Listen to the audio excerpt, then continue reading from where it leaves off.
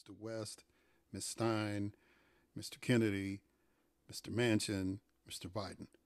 All y'all going to jail if he gets reelected because you ran against him. And don't think Miss Haley and Mr. DeSantis and Mr. Scott and Mr. Christie and Mr. Hutchinson and eh, don't think y'all getting away scot free.